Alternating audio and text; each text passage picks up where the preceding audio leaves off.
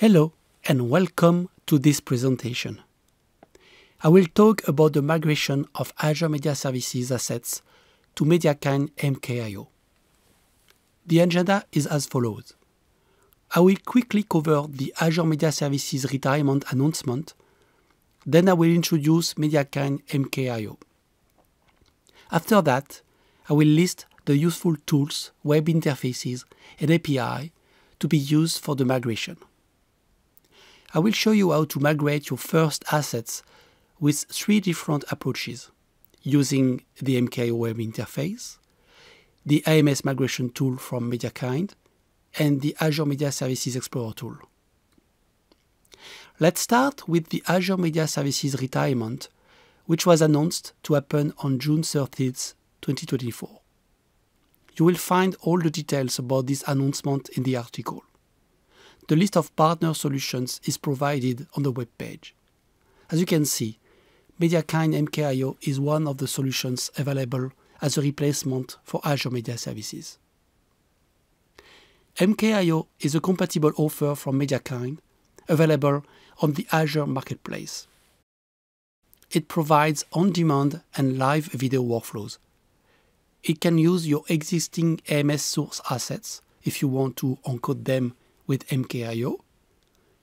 And you can also stream existing encoded AMS assets without the need to re-encode them or move the video files to another location.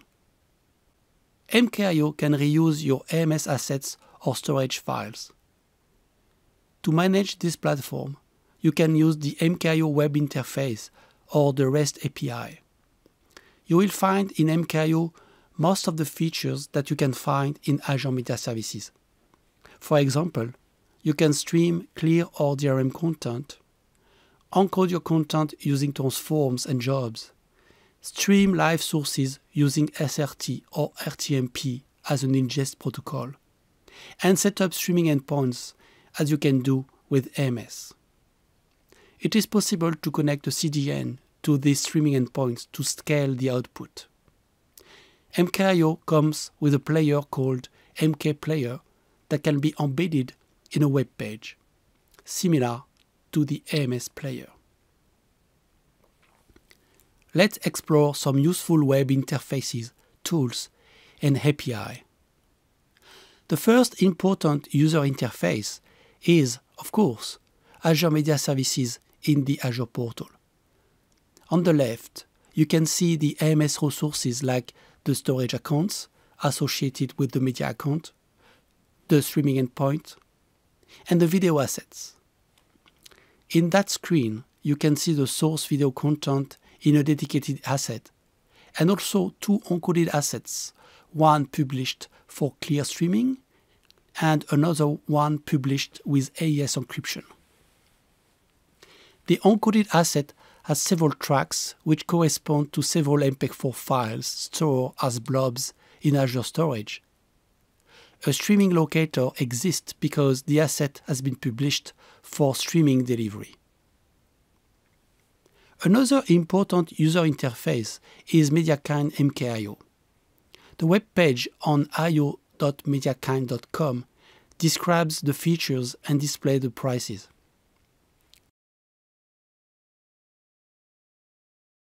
To subscribe to MKIO, click on Get Started Now.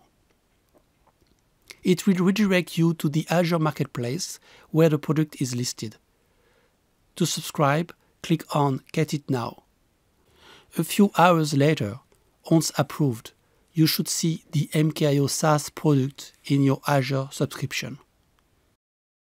If you go back to io.mediakind.com, you should be able to sign in with your corporate account.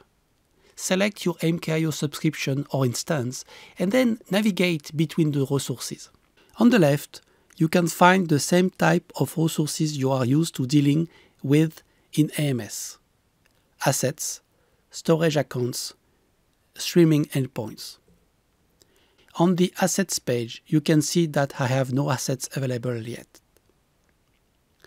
From the io.mediakind.com main page, you can navigate to the documentation to learn more about migrating AMS assets to MKIO.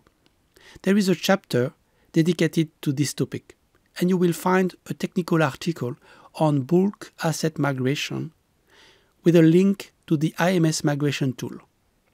This open source tool, written in Go, can be used to migrate assets as well as asset filters, streaming endpoints, streaming locators, and content key policies from AMS to MKIO. The tool is available on GitHub as shown on the screen. Migration can be executed in either one step or two steps using a JSON file. I will demonstrate this later in the presentation. Another useful tool is Azure Media Services Explorer. It is an open source tool that exposes advanced AMS features and provides detailed technical information about AMS entities. While you can compile the code locally, a signed MSI installer is available in the release section or through winget. Support for MKIO has recently been added. This tool facilitates the migration of assets, locators, content key policies, and storage to MKIO. Once installed, use the tool to connect to an existing AMS account. Here, I'm using a service principal to connect to my account, but interactive authentication is also possible. There is an optional connection to MKIO offered. Enter your MKIO subscription name and token. I can see my three assets and select some of them to migrate to MKIO. I will demonstrate such migration later in this presentation. For developers, access to the MKIO API allow you to build your migration application or integrate MKIO operations into your existing code from the io.mediakind.com webpage, click on Documentation and then select API Reference from the top menu. All REST APIs are listed on the left side, organized by entities. To migrate an asset, you can use the create or update asset REST call. All parameters are documented. Please note, for added convenience, I have developed an SDK for .NET based on this API description. You will find it at nuget.org. With this SDK, migrating or creating an asset in MKIO can be done in a single line of code. The SDK source code is provided on GitHub. You can submit issues or contribution through this repository.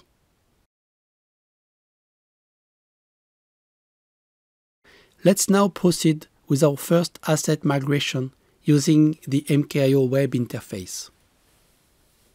The initial step is to establish a connection between MKIO and your Media Services storage account. In the Media Services page within the Azure portal, navigate to the storage account on the left. Select the storage account. You can now manage this storage. MKIO requires a shared access signature also known as a SAS token. To access this account, go to Share Access Signature, generate a SAS token for the blob service, container, and object resource types. Adjust the expiration date and generate the token. Copy the blob service SAS URL. Split the URL into two lines one for the URL and the other for the parameters. To connect to MKIO, go to Storage Account and click on Add Storage Account. Enter the storage account name. Use the first line for the URL, remove the trailing slash, and then the second line for the SAS token. The storage account is now connected to MKIO. As we aim to stream assets, let's create a streaming endpoint. On the left, click on Streaming Endpoints, then Create a streaming endpoint. Specify a name, keep the default settings, and submit the form. By default, the new streaming endpoints starts.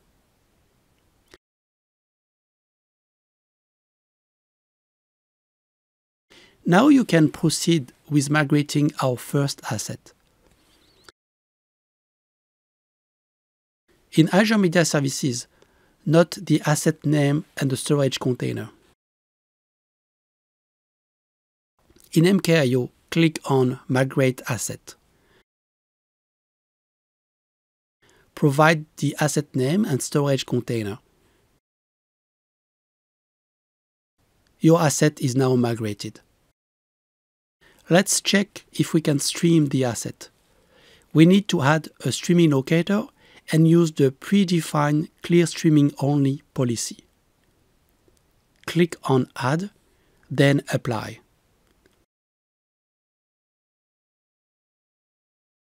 As you can see, the asset plays back in the player and the streaming URLs are provided. They follow the same format as Azure Media Services streaming URLs. Let's grab the HLS URL, then go to MK Player on the left and paste the HLS URL. As you can see, the asset plays back in the player and a sample of HTML and JavaScript code is provided to embed the player on your website.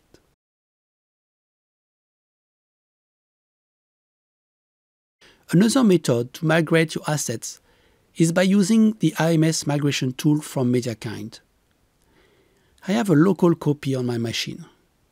You will need to obtain an MKIO API token and pass it to the tool using a variable. The process is documented in the README file.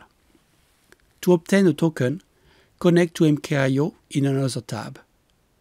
As you can see, I haven't migrated any assets yet in MKIO. Use the provided link to retrieve your token. Store this token in a variable named MKIO underscore token, which will be used by the tool. We are now prepared to execute the tool to migrate our AMS entities. For this demonstration, we will only migrate specific assets and streaming locators, but the tool has the capability to migrate other entities such as content key policies. It can perform the migration process in either one or two steps. I will demonstrate the two steps process. First, let's export the assets and streaming locators from my Azure Media Services account. As you can see, a JSON file is created. I can edit the file, removing the assets and streaming locators that I don't wish to migrate. Let's retain one asset and its associated streaming locator, and then save the file.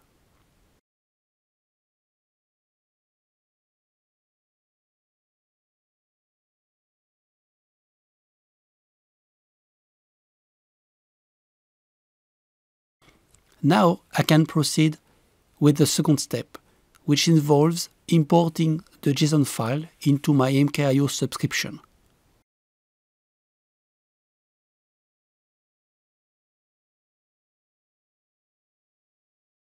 Alright, the export is completed. Upon returning to the MKIO web UI, I can now see my migrated asset. On examining the details, I noticed that the streaming locators has also been migrated. The streaming locator retains the same ID, resulting in new streaming URLs similar to those exposed by Azure Media Services for this asset. The path remains unchanged. Only the host name has been modified. A third method to migrate assets from Azure Media Services to MKIO is by using the Azure Media Services Explorer.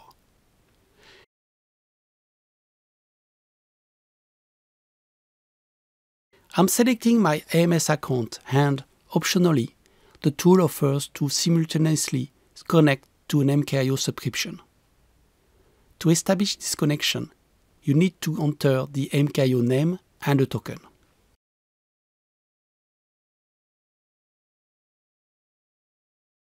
Now that we are connected, we can view our AMS assets and the status of the migration to MKIO. For this demonstration, I would like to migrate an asset that has been published for streaming with an AES key, also known as clear key streaming. Firstly, I need to migrate the AES content key policy. I select this entity, right click on it, and choose the Create in MKIO option. The migration is complete. Next, I can select my published asset, right click and choose Create the asset in MKIO. The tool suggests migrating the locators attached to the asset simultaneously. The migration process is completed. Let's examine the results in the MKIO web application.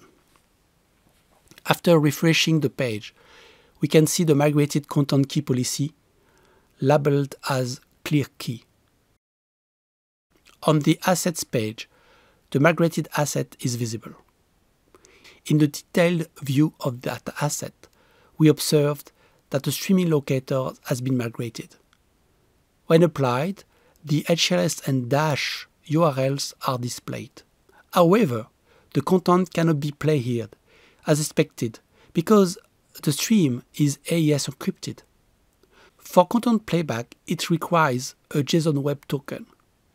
I can retrieve the HLS URL and navigate to the MK Player test page. Let's select HLS and clear key, then paste the streaming URL. Since I need a JSON Web Token for this demonstration, I used the jwt.io website to generate one. I must paste it in the license request headers using the correct syntax. Upon pressing play, the content now plays back using AES ClearKey encryption. Thank you for watching this presentation. Please feel free to reach out if you have any questions. Have a great day.